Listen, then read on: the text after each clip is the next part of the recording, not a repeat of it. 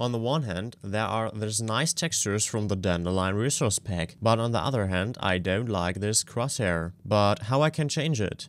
This I will show you in this video.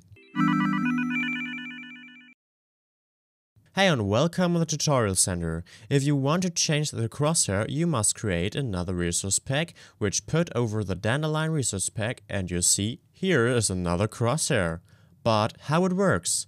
Therefore, we'll look at this new resource pack. You can download the pack with a link from the description of this video. If you open it with WinRAR or so on, you can go into the Assets, Minecraft, Textures, GUI folder, and you found this icons.png data in there. The icons.png are a data with many standard icons of Minecraft, and here on the top we found the crosshair. If you set this pack in front of the other texture pack, these textures will be used earlier, because they have a higher priority. But if you don't want to install the standard icons, but the icons from the Sphax PureBDCraft texture pack, you open the pack and go to the folder you know already, and copy the icons.png data to your new texture pack. If we place the resource pack back to our Minecraft folder and switch it over the Dandelion pack, we have the crosshair from the Sphax PureBD Craft pack. But attention, the other GUI elements, for example the health bar, will be changed too. I wish you many fun with this cool new trick. If you want to create epic wallpapers with your own skin,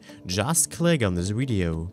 I will be happy if you rate and share this video with all of your friends, and with your cat if they play Minecraft. Thanks for watching and goodbye.